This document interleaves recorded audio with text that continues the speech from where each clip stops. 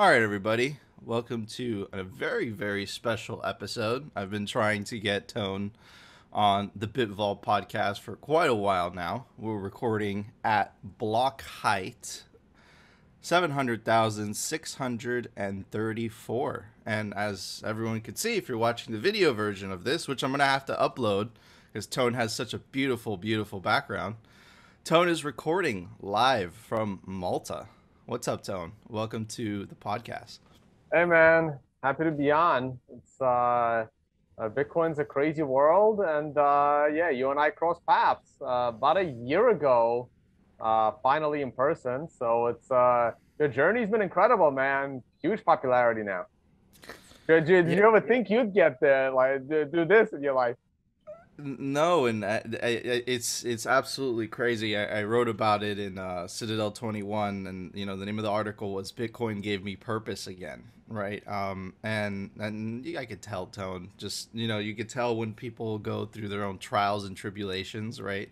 And uh, you know, Bitcoin gave me hope, and it gave me purpose, right? Uh, gave me a way out of of the rut that I was in so so yeah, and, and you know what's funny is that I, I keep hearing that same story over and over again, the story of hope um, that Bitcoin gives everybody. But enough about me. I want to hear about you, Tone. and, and I think that um, a lot of people, you know, they, they see your, your phenomenal YouTube show, which but definitely you guys should definitely go. Um, Tone is very rare in the sense that he doesn't talk about shitcoins. He talks specifically about Bitcoin um, and the Bitcoin price action, and and he's actually surprisingly very accurate sometimes. Um, one of the things that completely just blew my mind, right, is back in January, Tone made a call essentially. And again, guys, I'm not a big fan of TA, right? I'm a I'm a dollar cost average guy, but this just blew my mind. I'm like, this guy's the real deal. Essentially, it was back in January, and Tone said, "Yeah, I think the Bitcoin price is gonna go. You know, it's gonna go. Uh, it's gonna pump to maybe 50, 60 k, and then it's gonna dump back down again. And then towards the end of the year, it's gonna go to 100 k. And and it looks so far that that's exactly what it's doing. And I remember Tone that I asked you when we were at your buddy's house. We were playing to- poker. You invited me to play poker, and I'm like, Tone, how do you know that? And you're like, it was a gut feeling, right? So where did you get that gut feeling? How did you develop it? Um, and how the hell did you make that call? You know that that was impressive. Not gonna lie, and I, and I know that you got a lot of heat for it as well. You know, for making that call. Everyone's like, no, it's just gonna keep on going up, but you stuck to your guns. What was that about?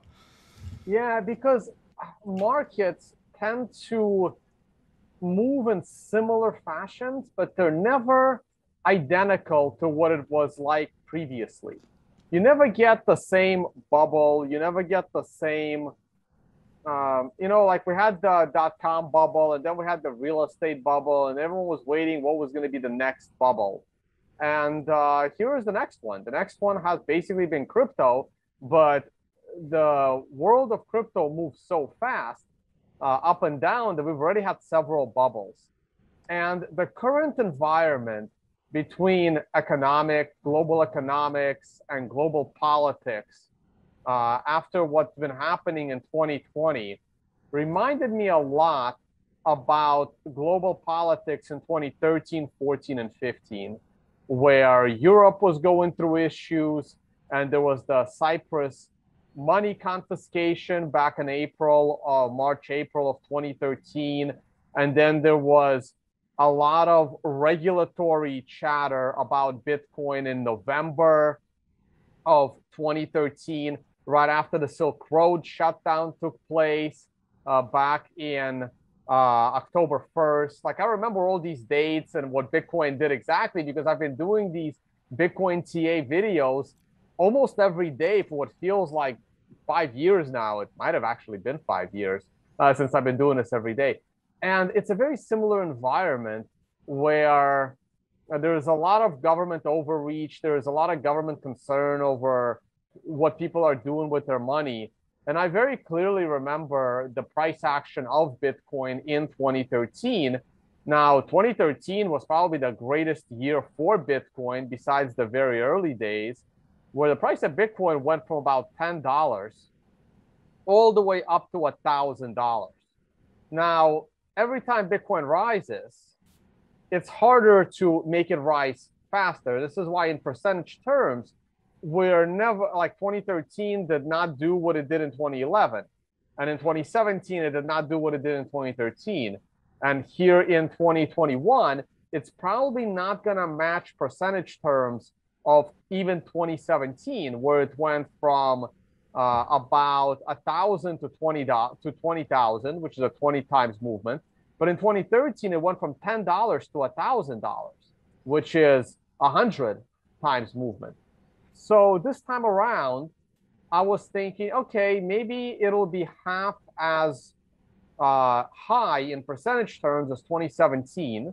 The year started at approximately 10,000. So the end of the year, you know, 10, 10x in one year is a very good bullish year. And it's half the size of the prior year, which was about a third of the size of the prior bull cycle, not prior year or prior bull cycle.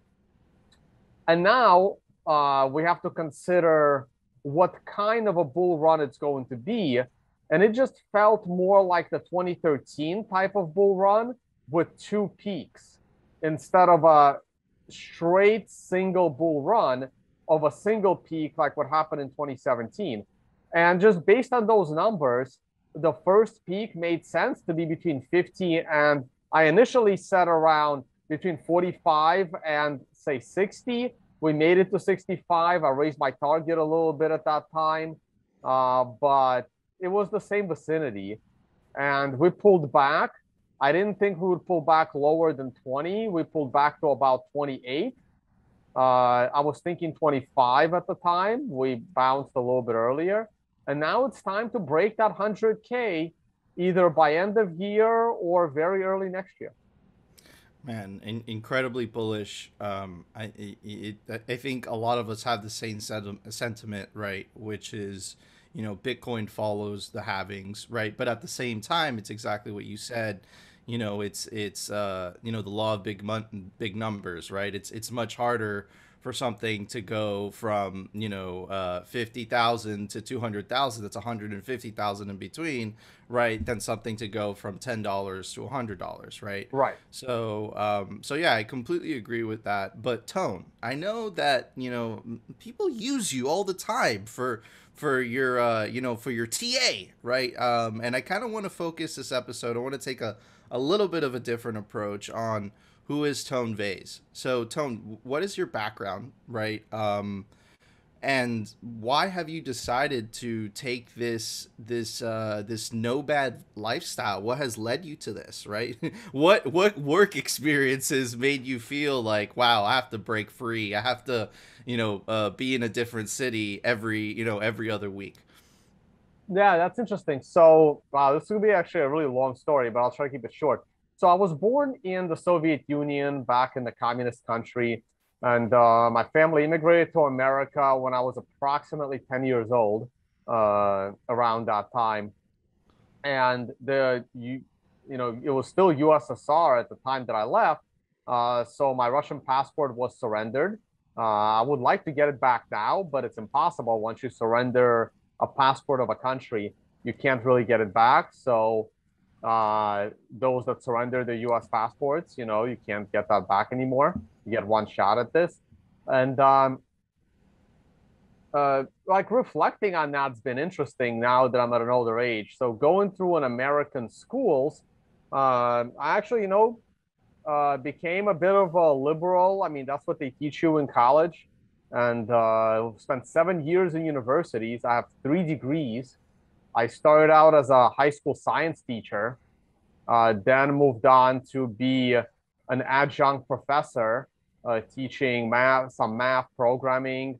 Uh, my degrees are in financial engineering as well. Eventually, I made it to Wall Street, worked on Wall Street building risk models for about 10 years. But trading was always fascinating. So, right out of college, uh, in the early 2000s, A friend of mine convinced me, hey, Tone, let's go take a trading course, similar to the trading courses that I teach today. Uh, so I teach a couple of courses today. One of them is basic technical analysis. I also teach risk management, which they never taught me. I had to learn that one on my own by losing a bunch of money first. And then I also teach an options course. Uh, and back in the day, this education cost me $8,000 plus travel expenses because they took place in different states than I was living. And I didn't have that much money. So I basically spent all my money learning how to trade. And then the problem was, where do you find the money to trade? So of course I had to find jobs and I had to trade on the side. When I finally had the Wall Street job, I was able to make some money. And then uh, it's very hard to trade while also having a day job. Very, very, very challenging.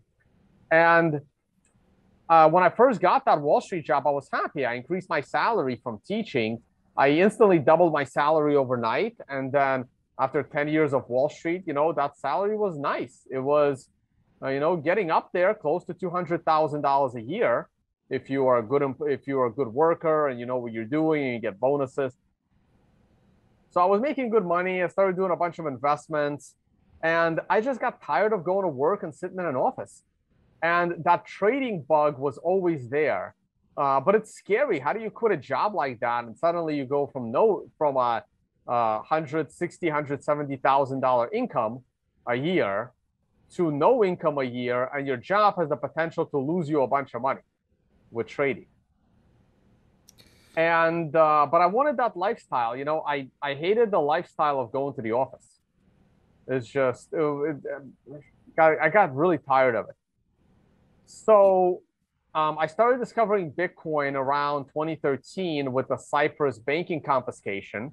Let me back up a little bit. Um, it was around, um, so after I voted for Barack Obama for presidency, and watching the first couple of years of his presidency, uh, that's when I finally realized that my parents were right.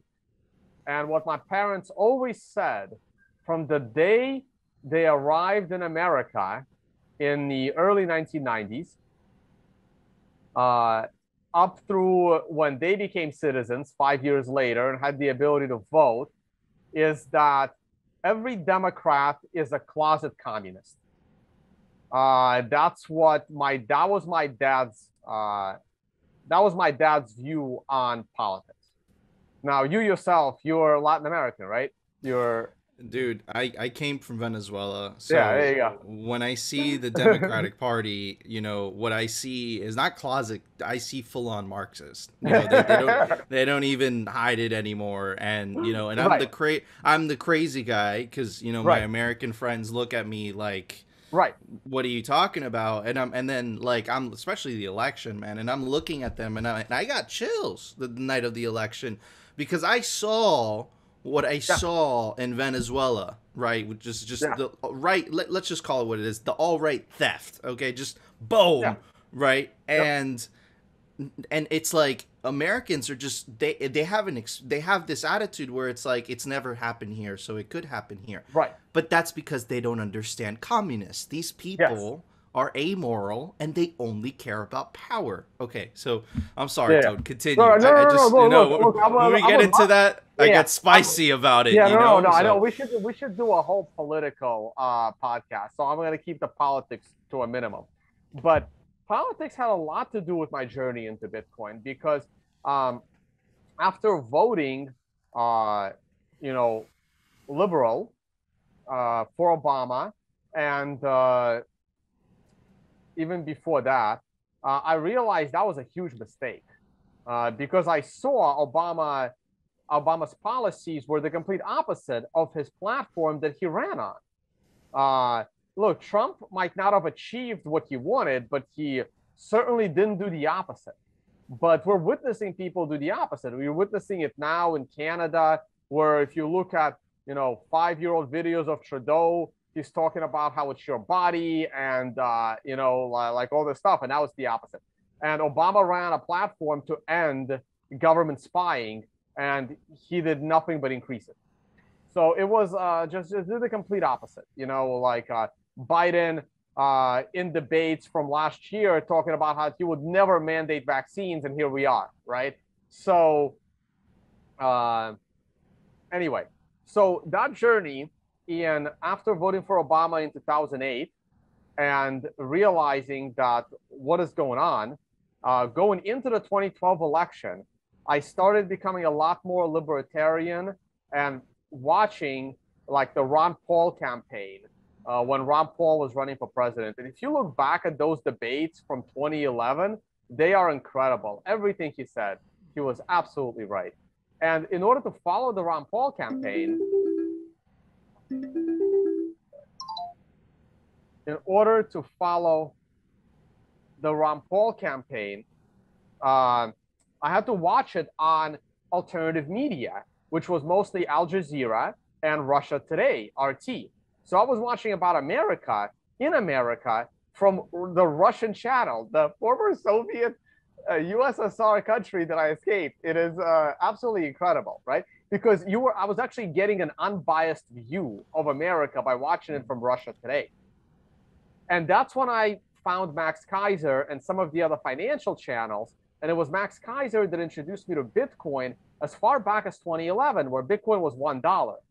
But I didn't take Bitcoin seriously until 2013 when I watched the banking confiscation and I was becoming a lot more, you know, gloom and doom and the dollar is going to collapse and uh, what is going on with the stock market and, you know, like listening to all of the gloom and doomers like the Peter Schiffs, like uh, I can name them all day. You know, I've seen them all. Peter Schiff, Marc Faber, uh, Gerald, Gerald Celente, and um, I, I, grew myself out of it since then. But uh, at the time, it was interesting. And anyway, th- that's my that's how I discovered Bitcoin. And in 2013, I realized that Bitcoin is the first unconfiscatable asset humans have ever owned. And looking back at my family leaving Russia, even though I was young, almost 10, uh, when we left, my family was only allowed to leave with 100 US dollars worth of money per family member. And all the other wealth you had was basically confiscated by that government. You were not allowed to leave.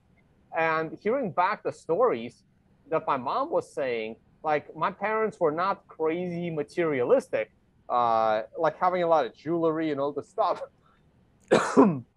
and when you're defecting Russia, you basically go like through the airport, and then there's this like, and then there's like you know some government official, this lady, and she's like looking through all your stuff, and then like she was like angry that my mom didn't have a lot of jewelry because they were like, no, no, no, you can't take this, you can't take this. This like like they confiscate the very last piece of your wealth.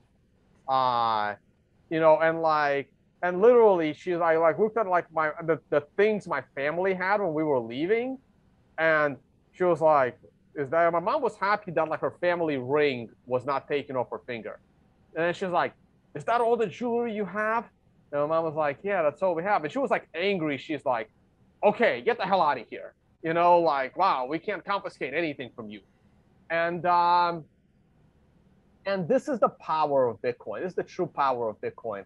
And it was really awesome that I was able to secure unconfiscatable.com because it was not, it's still not a real word in the dictionary.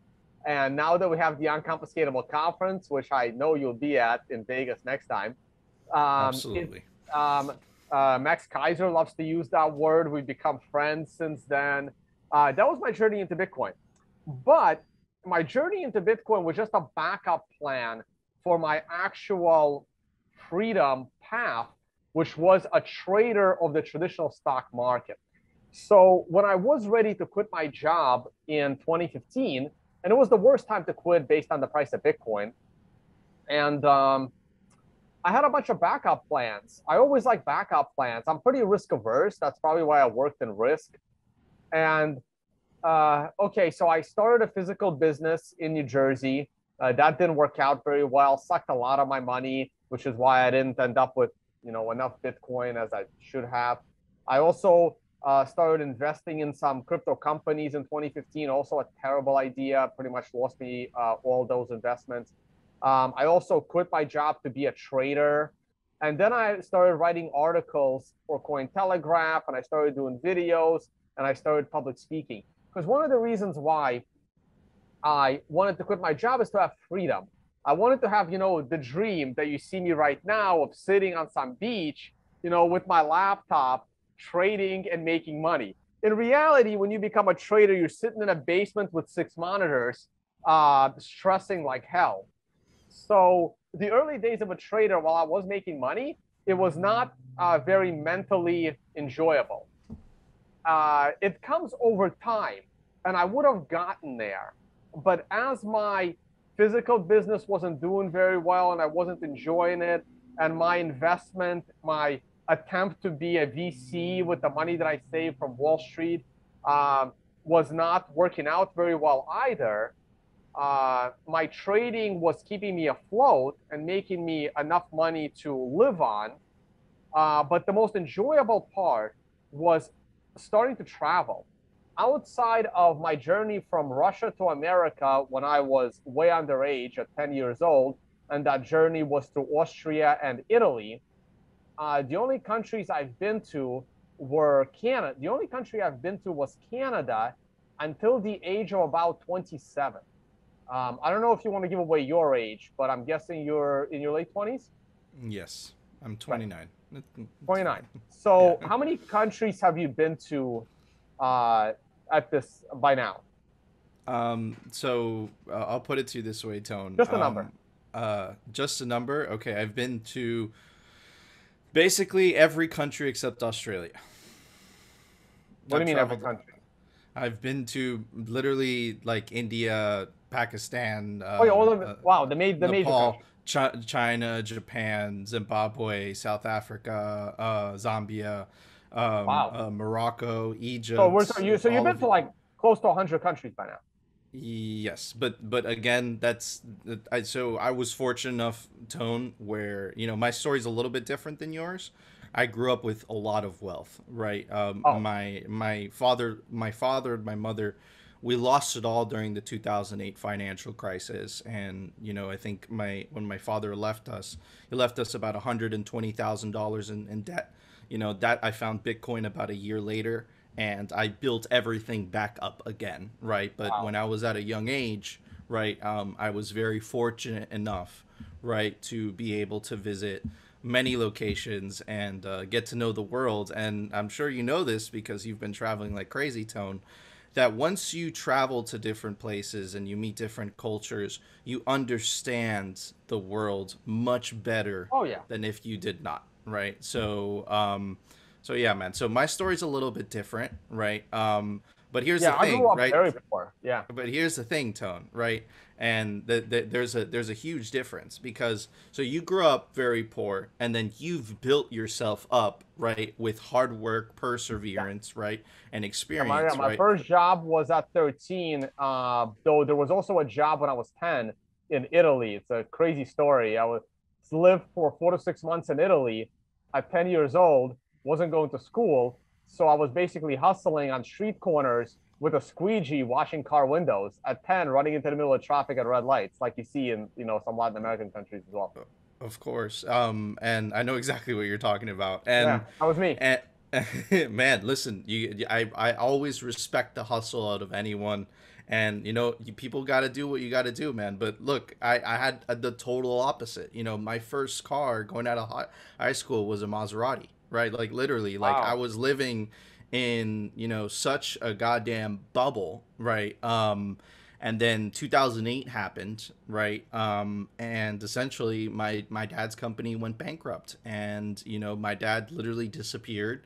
He left my mom with $120,000 in debt, wow. you know, um and that completely changed my life. You know, um, it got to the point where I, I, was literally living on my friend's couch. I had, you know, less than ten thousand dollars to my name, and then um, it the the point that I was trying to make, Tone, is that it's much harder to go from having everything to losing everything than to going back up again because psychologically right? And I'm sure that you know this as well, right? Once you've acquired a certain amount of wealth, right? It changes the way you think, right? It's like, you know, that that that comfy hotel room that now you that you could afford, that starts to become normalized in your brain, right? So I was already normalized to heights that were not normal. It was not normal. So going backwards, right, was it was you lose your ego, right? You lose all sense of you lose all the friends that you had because you can't relate to them anymore. I can't relate to my friend my old friends anymore, right? They they they're trust fund kids. You know, I've I've literally earned my wealth, right? And you know, like right. I literally clawed well, I, to get it, right? Yeah. Okay. I challenge you on that a little bit. Um, um, so yours is a little bit different because you personally did not earn it the first time. You True. had it. Then you went to nothing, but then you were able to rebuild. Normally, if you built it the first time, and then like if for example, if your dad did not disappear, he was smart enough to build it the first time, you can do it again. It's actually easier because you have the experience. It'll be once you get through that mental challenge and if you you know don't quit you can i think it's a lot easier like for example if i lost everything right now i can go into a whole new industry and i can rebuild because i have the experience of doing it once but but I but here's the thing, Tone. Like I had no experience, right? Right. Like I you was... had no experience, right? In your personal case is a little bit different, but uh, but for people that did build it the first time, it is very easy for them. This is why you you see a lot of people like after they go, they build, they go bankrupt, they build, they go bankrupt, they build, they go bankrupt. Because yeah, like I, I, once you've I, done it once, it's easy to do it again. I, think that the the but the, the average, first time is very hard. Yeah, the the first hunt, getting to the first hundred k, I think yeah. is the the most difficult thing that you could do. I completely agree with you. Um, and then everything after that gets significantly easier. But um, so yeah, man, th- th- this concept, right, Tone, um, that look, you were prepared, right? You, you you told you talked to me about essentially your battle plan, man. You you went from teaching, right, and then you became you you worked at Wall Street. To, you know, you tried to you know venture out, try to start your own companies. You worked at Wall Street. When I'm listening to all that, what I'm listening to is experience, man and experience is priceless. That's what literally gets you up, right? That's your teacher, and that's exactly what you said. If you lost it all tomorrow, you you know the right moves that you would have to take in order to succeed in the new venture that you had. I didn't have anything right. because I always had that expectation in yeah. the back of my mind tone. I was like, ah, I don't have to do anything. My old friends are all like that, by the way, right? I don't have to do anything. I it's it just I just have to do the minimal, graduate from college, then my dad's gonna give me a job in his company, and you know everything's just gonna work out, and I have to do minimal effort. All of that, you know, it was I was I was 17 years old, right? Was just pulled out right under me and then all of a sudden the friends that i used to go out with i can no longer afford to go out with them anymore yep. i can no longer afford to do any of those things anymore so again you know i went through some very dark times but luckily like you you know you found it through you know your your political views finding ron paul etc right i literally had a cousin come to me from venezuela and he came to me and i was living at my friend's apartment at the time and he's like have you heard of have you heard of Bitcoin mining? There are these machines that make money. And I'm like, what are you talking about? And I was like, tell me everything you know, you know? And then that's at that moment in time, Tone, I was like, okay, listen, out of desperation, I'm not going to take, you know, the, the, I'm, I'm not going to have, you know, the audacity to say, oh, it was the libertarian thing. It was that I was at such a low point in my life that I was grasping at anything at that time yeah. to get out.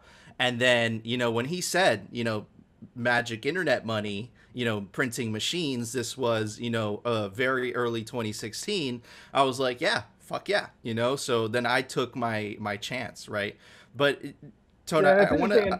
Yeah. Mine, was, mine was the opposite, right? I Googled Bitcoin. I heard about it in 2011. I Googled it in 2012. When I Googled it in 2012, all I found was mining. But in 2012, I was like so busy with my career coming off the financial crisis because I almost lost my job then. And um, I was like with a new company now, and I was so busy with my career. I looked at mining and I'm like, this is crazy. I don't have time for this. Uh, this is too complicated. And I ignored Bitcoin because all I found was mining. But in 2013, when I started Googling, now I found, oh, you can just buy it. Like I didn't realize you can just buy Bitcoin in 2012. And uh, but in 2013, I saw that you can just buy it. But uh, real quick to finish up that last thought, Um, so I didn't even get to travel and see anything outside of US and Canada until the age of like 27, right? So I'm close to your age. I've never seen any of the world. And um, I wanted to, and I, then I, I saw one on my first vacation. Uh, it was, I think my first vacation was to Trinidad for Carnival because I had a Trinidadian coworker. And I'm like, wow, this is a lot of fun. And then the following year, I went with a girl to the Philippines. That's where her family was. And I'm like, wow, Asia is incredible. And uh, so this was like 2010, 2011, like around that time. And that's when I started, you know what? I want to see a little bit of the world. So when I quit to be a trader and do this, uh, it turns out that being a trader gets you stuck at home in a basement, but doing the Bitcoin stuff, the public speaking, which I always love because as I started out as a teacher, I'm a good educator and I love public speaking. It was, I even took the classes in college and I really enjoyed it while everyone else is like scared to be on stage. The public speaking, the educating about Bitcoin was just more enjoyable, but that is something that costs me money. They don't pay me. I'm not Andreas Antonopoulos. They don't pay me to, you know, travel and go on stage. It costs me money to do it. I don't pay the conference to speak. Uh, sponsors do that, but I usually have to pay my own way to get there. So that costs me to teach people about Bitcoin. So I was financing that with trading, but now just like working Wall Street and trading is hard to concentrate. Traveling and public speaking and educating about Bitcoin and running the YouTube channel and being interviewed um, makes it hard to concentrate on trading. So I financed my uh, Bitcoin evangelism and fighting, you know, guys like Roger Ver eventually, who used to be a friend of mine, uh, with teaching others how to trade. And uh, because I'm a good teacher and I have good experience trading and I was a profitable trader, and uh, people like learning from me, and that was my perfect combination of, you know, quitting and enjoying life without an office while still you know satisfying all my passions. Passion for travel passion to educate and keeping you know involved keeping myself involved in the markets. That's that that's my story. Man, fascinating story, and you know, um, I one of my favorite books, and I think that it's a must read. You know, when you're getting deep down the the rabbit hole is the sovereign individual. And you are my friend a sovereign individual. You know you are you know moving place to place you know you're you're you're you're taking all the equipment that you need you know and and the most important thing and this is one of the things that i i, I see about wealth right I, I don't define wealth as, of course, you know, it's, it's obviously the amount of Bitcoin you have and all that, but you put that aside, right? I think the, the thing that defines wealth for me is are you able to do whatever the F you want with your time? Right. Um, that's the big, you know, that's the big, uh, that's the big question, right? And, and it looks like, you know, that's exactly what you're doing. You know, I've been fortunate enough to, um, to uh, you know go full time Bitcoin again. You know, uh, 2018 was brutal for me, um, but you know uh, towards the end of 2018, 2019, you know I've been able, been fortunate enough to go full time as well, and not have to be at an office. You know, and uh, I'm a little bit different than you, Tone. You know, I'm more of a homebody, but uh, you know I I I literally focus on making content every day, you know, and I mine a little bit and I have a couple, you know, fiat businesses on the side, traditional brick and mortar stuff, right? But the point is, right, is that you know, you know how it is, Tone. When you're your own boss, right? Uh, if you don't do your stuff, no one else is gonna do it, right? So you don't have a nine to five per se, right? But the luxury of it is is that you know you can wake up or you can travel wherever you want right and that's incredibly liberating and i think that is worth more than you know making uh, to use your example, two hundred thousand dollars a year, but at the same time, you know, uh, metaphorically, you're chained to a desk, right? So I think that I think that you that you've really uh, encompass that tone. You know, I think that I think that a lot of people see what you're doing, you know, um, on your YouTube, and and they're like, man, this guy's in a different location everywhere he goes. And then on top of that, you have the amazing thumbnails, which I'm a huge fan of, by the way, of you like with the Lambo in the background, and then when when the price goes down, it's like on fire, and then when the price is everything's okay, there's a Lamborghini in the backyard.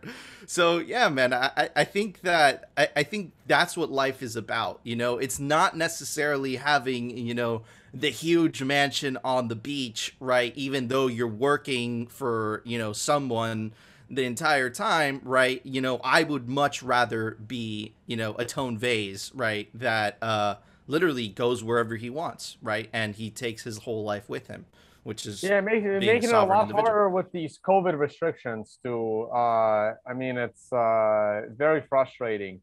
I don't want to get into conspiracy theories, but it feels like uh, the the the God class is on a mission to prevent people like us from having the freedom to move around the world.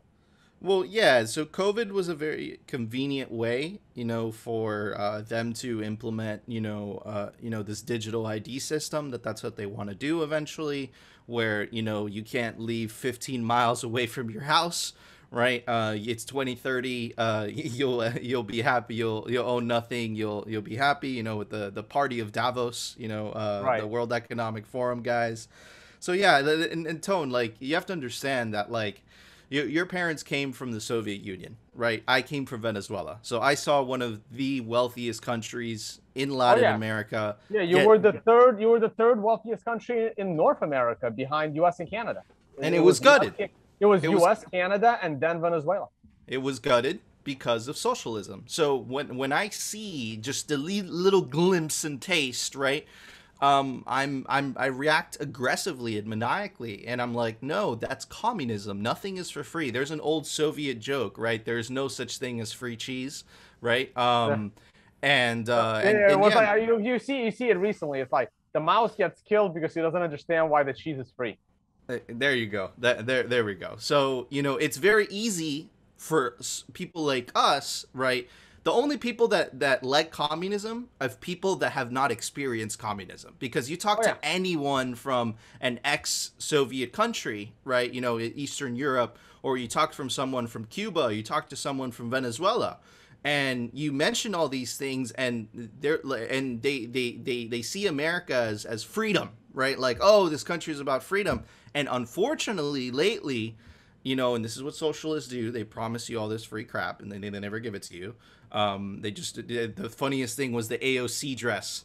She has the audacity to wear "Tax the Rich" at a thirty thousand dollar per ticket event. You know, it's like who the hell are you kidding? But that's how social that's how socialists are, right? They enrich themselves, and the majority of the population live like serfs, right? So Tone, you know, and, and I know that you've been very vocal about this, and I, we, we've both lost many Twitter followers, um, you yeah. know, being vocal about this stuff. Um, what is your outlook on, you know, the the the future of the United States? Because the way that I see it, man, is now that they figured out how to, you know, use the whole mail-in system to, you know, to put it lightly, finesse you know the system to try to get it to their way and then they have the backing of you know the mainstream media right?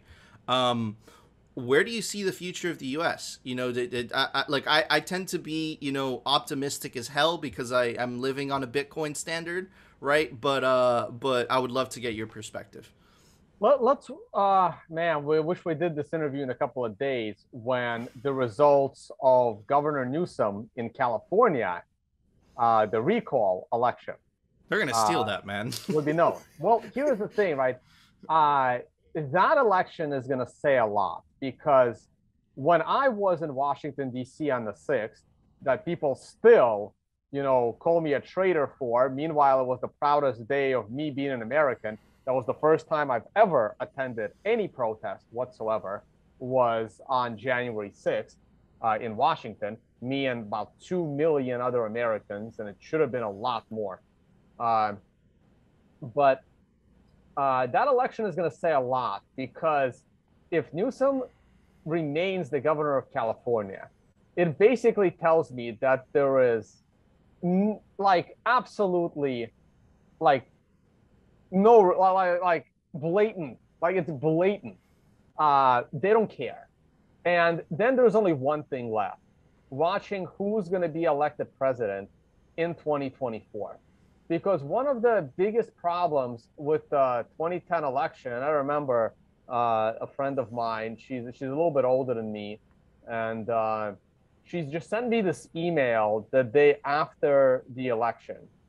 And her email kind of just went like this. He's like, Tone, I don't know what to do about my future in America because this election did not properly inform me on how many communists are actually living around me. And that really resonated with if Biden actually, if I felt that Biden uh, was elected honestly, I would be more scared for America as to the amount of people that are communists around me. But if the election was stolen and Trump was, and going into that election, I had expected Trump to have the highest reelection percentage in American history uh, for a sitting president. And if those seven states did not, when I went to sleep, he was up in all of the seven swing states. And when I woke up in the morning, he lost all seven of those states, which was insane. It was fascinating. I at, and I went to bed at like two in the morning. It, it was fascinating, Tone, because they they stopped this they stopped the count yeah. consecutively all yeah. at the same time. And I remember, Tone, that I got messages from very predominant Bitcoiners that day, very similar to that email that you received from your friend. And, and, and these are very you guys all you guys know these people by name. I just don't want to mention who they are specifically. And man, it's like, are you seeing what's going on right now? And I was getting chills, right? Because what it reminded me of was Venezuela. I was seeing right. Venezuela, right? right? I was seeing the states being frozen, saying, "Oh, we're going to stop the count." And then I saw Biden for the first time in American history. People don't remember this, right? Going out there and essentially assa- an- announcing his victory without the other the opposition candidate conceding. That's never happened before. Why was it that the seven states in question that he needed to win all stopped counting at the same time? Again you're not allowed to ask these questions right? Oh, and then, i mean like we again we can we can have a whole episode. I think we did do a whole episode on uh, the election and the insanity. I did that with jimmy song and stuff. But but the point is that uh, that election, we I, I I may stick around for one more election. And there are a couple of candidates that I would love to see president of the United States. Um, and that's uh, uh, Kristi Noem from South Carolina. We have Ron DeSantis down in Florida. Uh, maybe a couple of guys from Texas. Unfortunately, Ron Paul is too old, but his son Rand Paul uh, is okay. And that's a very, very short list. I'm not sure if I want Trump back, uh, even though I think that Trump is the best possible candidate for president out of every lifetime politician. I just think that Trump coming back would create a bigger divide. But I yeah. will certainly vote for him once again. Uh, I have no, you know, I'm not even shy about saying that. Um, but most likely, uh, we're not going to get the right president in. And I foresee a split of the United States before 2030. Going into the, the end of this decade, I foresee the split of the United States into multiple countries, uh, anywhere from two to four countries. And it's going to be interesting. It's going to happen at the same time as the collapse of the dollar. Because the only thing that is keeping this country together is a strong dollar.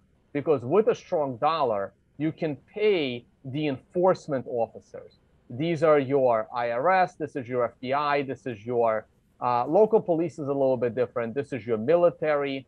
And if that dollar collapses, there is absolutely no ability to enforce especially with the amount of guns the United States has. Unlike Venezuela, uh, Biden has not yet taken away the guns like Chavez did. So uh, you will not, uh, the US dollar will, the, the US government, the federal government will not be able to enforce the, uh, the United States staying together. And I think it will break up. And people think that borders never change. Borders change all the time. Borders are changing every day. Russia is encroaching on Ukraine. Russia is encroaching on the Republic of Georgia. Uh, by the way, two of my top five favorite countries in the world. Uh, so I'm very disappointed in that. Um, China is going to take over a lot of stuff. Uh, and uh, we'll see what happens with Venezuela. Uh, other countries merge, other countries split. Um, Yugoslavia, you know, completely broke up. Uh, uh Czechoslovakia. Uh, it happens all the time. Uh, and the U.S. history is solid. the U.S. has been a single country. The, the Europe is trying to merge. The United States is having this divide you're witnessing the divide in the United States accelerate almost on a daily basis. And the mainstream media is just throwing, like, I don't even say logs, they're throwing like redwood trees on this fire. And um, it's gonna it's gonna implode. It's going to implode. The question is, will it be violent or won't it be violent? I personally don't like violence. I'm hoping it'll be peaceful. And um, I'm kind of hoping I am still an American if that split happens because I want to be on the right side of that split. Uh, so, and the right side of that split would be states like Florida, Texas, and most of the states in between those two, uh, and the Midwest. And uh, I've went to St. Louis lately, Missouri, wow, that is true Trump country. I gotta say that like per capita, uh, Missouri is probably has the most Trump supporters, which was fascinating to see.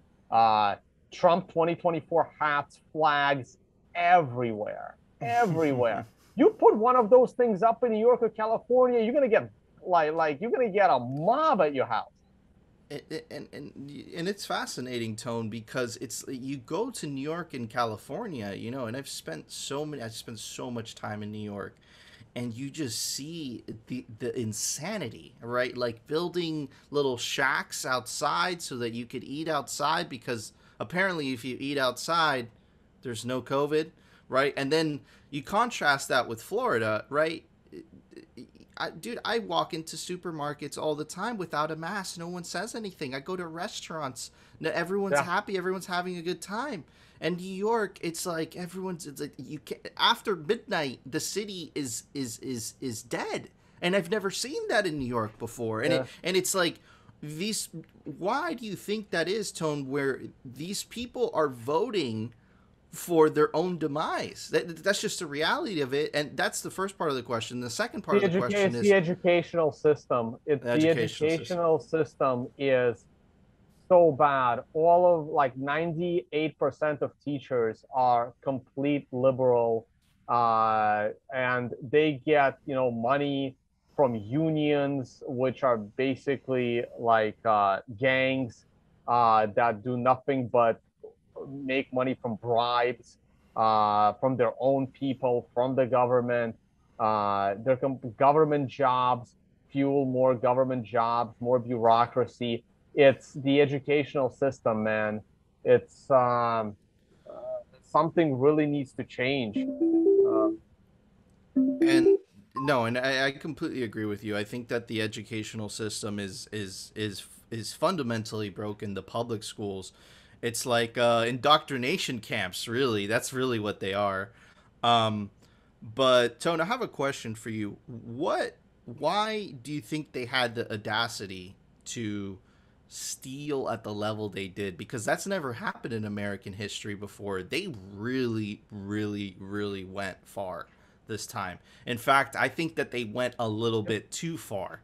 Right? It was Trump. Um, it was it was Trump. It was the American people electing a non politician to a position of power is probably the scariest thing for a politician than anything else. They can, uh, this is why Trump is better than a DeSantis. This is why he's better than, you know, any other life. Well, DeSantis is not a lifelong politician. At least DeSantis was in the military, you know, which again is a hit or miss. But at least with the military, you have a 50 50 shot on being normal versus, you know, a, a, an insane bureaucrat. Uh, with a lifelong politician whose former job was a lawyer, which is like 95% of all politicians, they're all freaking lawyers at least Ron Paul and his son Rand Paul are doctors. Uh, but uh, uh, very few politicians have an actual career uh, as a business person, as a non. Well, like 90% of all politicians only know one thing how to make money from other people's money. And they're uh, the worst possible thing for them is a non politician uh, above them. And once Trump was elected, it didn't matter. Like the laws, the Constitution, the uh, the you know the levels you can go to to eliminate Trump had no bounds because it was a fight for political survival. Because when Trump gets elected, I would say 90% of those politicians, like went to bed that night thinking I might actually be arrested before my next reelection campaign. Unfortunately, Trump did not arrest any of the current sitting politicians, and that was his downfall. Uh, when Trump ran on a platform, I will drain the swamp, he didn't drain the swamp.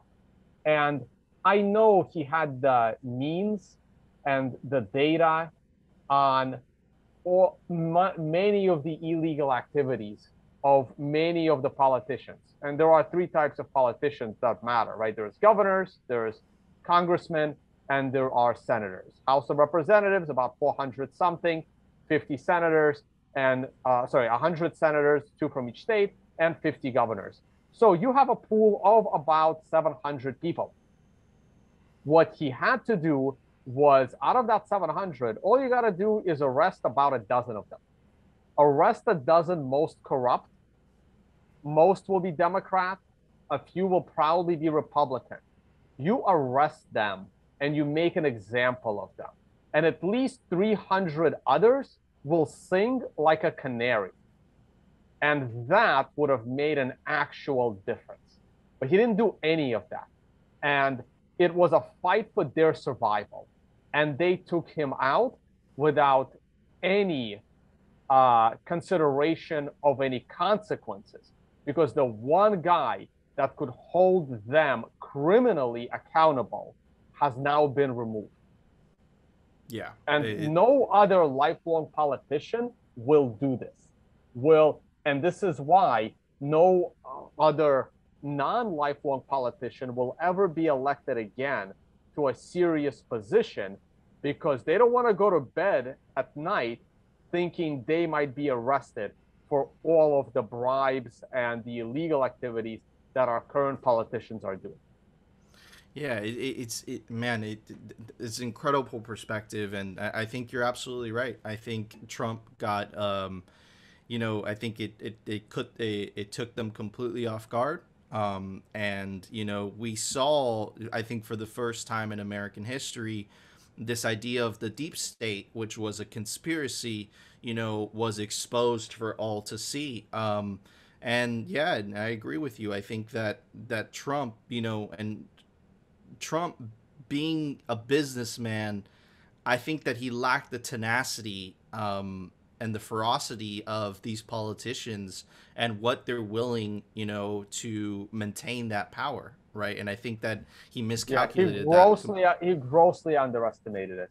Absolutely, and and it's it's so true, man. But listen, let's tie Bitcoin into all. Yeah, this, you know, I was right? just about to say the same thing. I'm let's like, hey, tie, tie Bitcoin the, into. Let's tie Bitcoin into all this because there's a there's a there's a method to my madness. Okay. Yep. Because I, I wanted to talk about the bureaucracy and and the sovereign individual. It explains this right how we're transitioning from the industrial age into the information age right? And these governments right these these top down governments in the united states has become essentially a welfare democracy right? They're all only supported and these politicians included they're all only supported because of fiat because the money printer. The money printer is what allows them to do the things that they wanted to do whether that's getting uh you know winning a popularity contest and deciding to invade another country and blowing it into oblivion right? Essentially well, you get elected and you get access to this unlimited money printer. Now bitcoin is a threat to that money printer. In, in, in my opinion i think it's going to highlight especially in el salvador it's going to highlight right the deficiencies of fiat money versus a money that can't be debased, right? Um, that there's only 21 million of, right? Something that has absolute scarcity.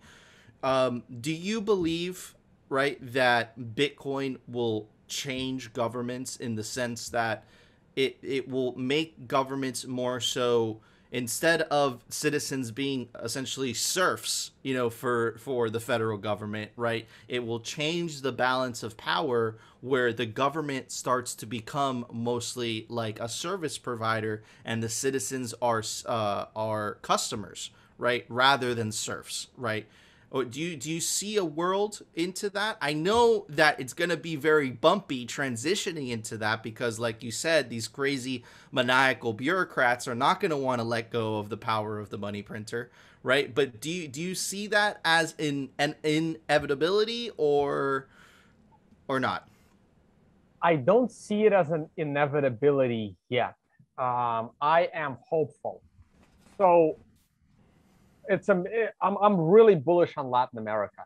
I'm uh, not bullish on much else of the world, uh, especially Australia or Canada. But I am very bullish on Latin America because I think by the end of this decade, almost every country in Latin America is going to have Bitcoin as legal tender throughout all of Latin America. And the amount of commerce that will be done between these nations is going to be incredible because it will just open up all of these business opportunities for trade. Uh, it'll be awesome. Now, Bitcoin has two independent purposes. And this is where, when I do my presentations called Bitcoin value proposition, I talk about the three properties of Bitcoin. Uh, property number one is unconfiscatability. It allows you to earn wealth with an asset that will keep appreciating in value that no one else can confiscate. Property number two is uh, seamless commerce. This is your unconf- uh, sorry censorship resistant value transfer between two places. And property number three is the inability to inflate Bitcoin. This is the hard money aspect. But there's two ways to use Bitcoin. There's a way to use Bitcoin as a sovereign individual, uh, where you actually take advantage of the first two properties. And then there is a, a way to use Bitcoin through the government institutions. These are your Coinbases. These are your government approved, these are your Bitcoin banks. So being your own bank is very scary and potentially financially dangerous and tricky. And a lot of people are not ready for it. And most people probably shouldn't even do it. So if the government is controlling your Bitcoin transactions, they have, I mean, they can't print the money. So they can't control you as much with socialism, but they can still kind of control you with uh, access to society you know, this is your vaccine passport, right? You don't have the right papers, you can't get on this flight. You don't have the right papers, you can't eat. Well, we don't like your Bitcoin transactions, so you can't make them. But at least the government can't print the Bitcoin. So it is still an advantage. You know, we get halfway we get halfway to freedom with the government in control of your Bitcoin transactions. So this is the government that recognizes that Bitcoin is a, is uh, inevitable. It's a government that realizes that um, we can be the world superpower. Why isn't North Korea a world superpower, but America is, right? North Korea has the most, uh, that's the government that has the, the most control over its people. And North Korea is not close to being the world superpower. America probably has the least control over its people uh, because of US gun laws and uh, probably the most freedom, uh, const- the most freedom accepting constitution uh, that the government doesn't really follow, but at least it's there. So America is the world superpower not because uh, of its military. America is the world superpower because uh, our transparency is the most respected. Our it's freedom. It's the one country that still pulls in the maximum amount of smart immigrants that want to come here and build a new life. Once that ends, the US superpower ends. Now, if Latin America or a single large country like a Brazil, like a Mexico, recognizes that they could be the most respected country in the world if they have the most honest and transparent political and financial systems with a freedom, uh, objective rule of law that they can enforce because the country is rich enough to enforce a rule of law. Like the US financial markets are still the, the best markets because they do have financial regulation that they can somewhat enforce better than any other country. Okay. So Latin America, or even a country like India, you know, if they got rid of their bureaucracy and they opened up, you know, the two billion people in India uh, to freedom of Bitcoin, even uh, the, that India could be the you know the world the, the next global superpower. They're not going to be, but they have the chance. They have a smart enough population. They have a large enough population. they have both manufacturing uh, sector and um, you know uh, a uh, a service sector, so they can do it with the freedom of Bitcoin. I don't know if they're going to, but they can. But that's halfway there, and the other half is being sovereign over your own Bitcoin, and that is a much much bigger challenge. We will see uh, if we can get all the way there, but anything is an improvement anything is an improvement. You know, the uh, so I I think you get the gist of where I'm going with this.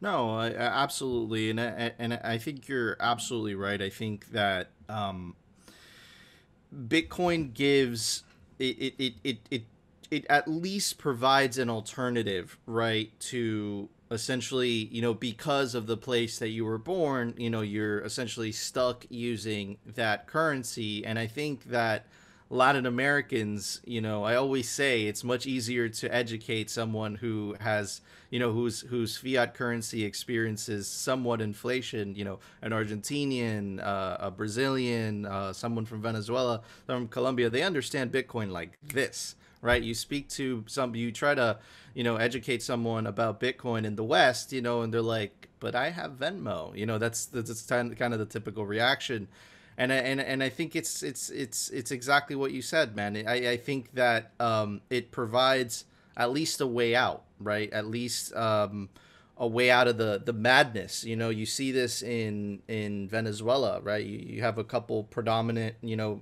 uh, personalities on Bitcoin Twitter where you know they're living as if nothing happened. The country's collapsing, and it's because you know they're living on the Bitcoin standard, man. But um, I completely agree with you. I think a whole lot of things are going to happen within uh, a uh, hundred years is going to happen within this decade. Um, and let's see what happens in terms of you know the politics, the power, But guys, you know, I hope I gave you uh, a different glimpse of Tone. Um, I know that you guys usually see Tone from a trading perspective. Um, I kind of wanted to break down who Tone is. You know, what what makes up Tone. You know, why he's always traveling. Um, you know, so I, I kind of wanted to take a different approach. I hope some of you enjoyed that.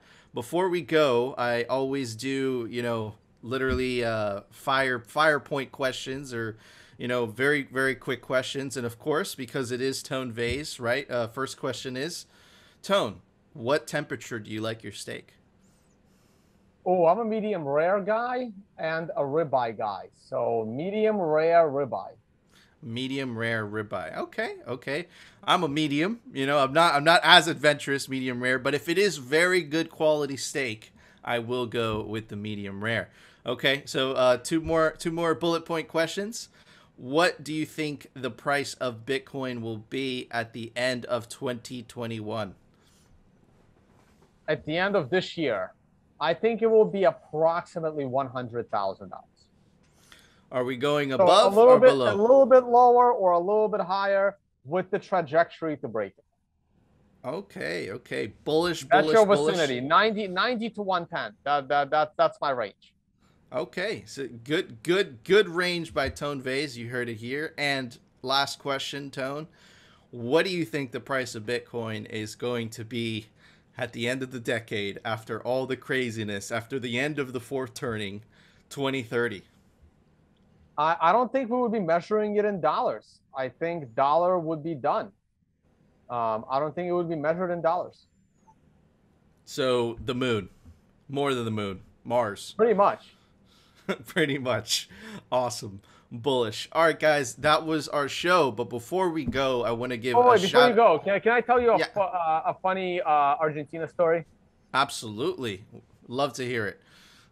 Okay, so I'm just trying to. I just, I just got to do. I was just trying to do like quick math, real quick. I'm trying to get the exchange rate of the Argentinian peso uh, to the U.S. dollar. I have my chart up uh, on in November of 2016. So give me a second here. Uh, 2016. Sorry, December 2016. Here we go. Uh, the exchange rate was it says 0.064, which seems a little bit too small. So let me see here. 80 pesos, so I think it was 80, uh, divide uh, times 0.0, oh, it was $80. Okay, that's what it was. Six, four. Uh, it was $80 worth of pesos. So it was uh, at 0.06. So 80 US dollars divided by 0.064 is looks like 1200 pesos. Okay, so here we go. I was at a Bitcoin conference in Argentina in 2016. I was leaving Argentina with 80 US dollars worth of pesos in my pocket. And I had two options. Uh, convert those $80 worth of pesos into dollars at the airport, or uh, which I was lazy and didn't do. But I was even lazier a few hours before that, where I was surrounded by Bitcoiners and I could have converted that 80 US dollars worth of pesos into 0.2 Bitcoin. Oh my god, bro. Ah! because it was 2016. Dude. Okay. So today, and my logic was I really enjoyed Argentina, and I'm going to be back very, very soon.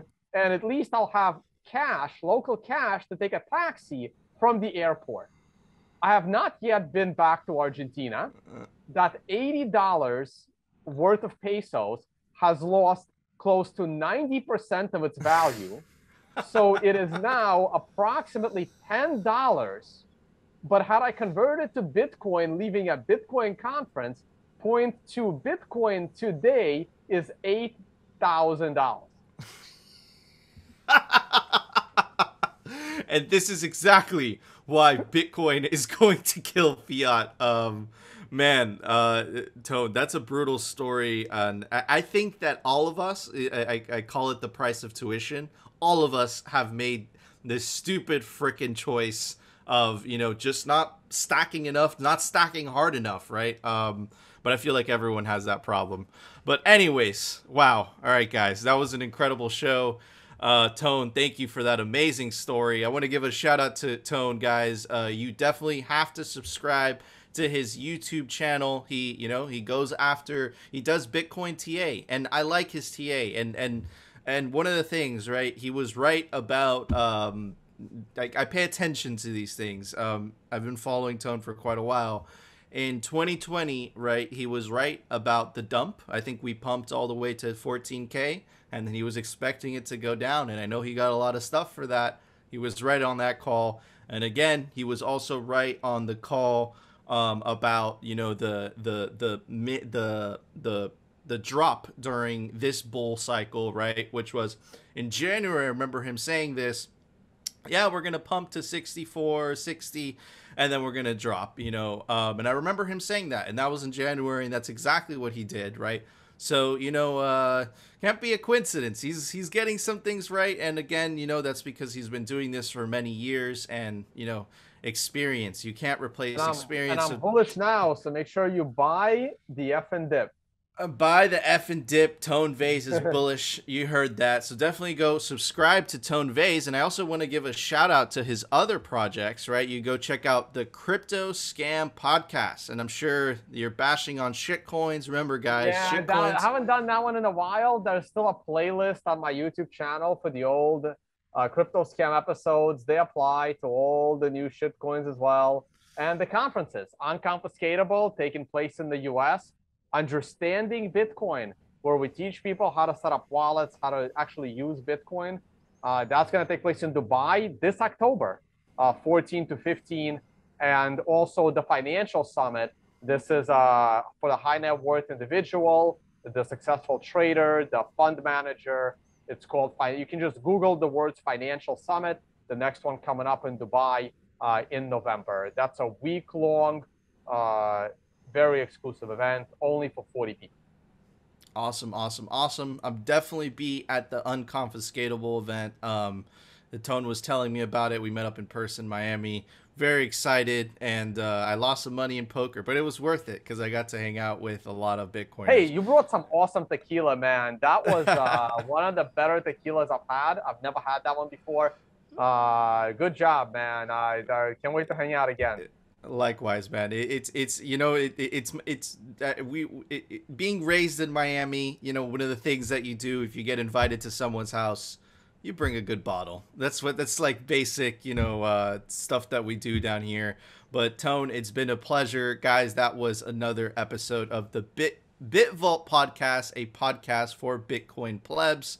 And of course, I only bring Bitcoiners on here and Bitcoiners from all walks of life, whether that's a miner, whether that's a trader like Tone, an educator, whether that is a coder, right? I try to bring every single Bitcoiner and I like to hear their stories, right? Because I think we all find the common truth, the same truth, but we take many different types of journeys to get there, right? And now you've heard Tone, Tone's journey, and that was super awesome. All right, guys, I'll see you on the next one.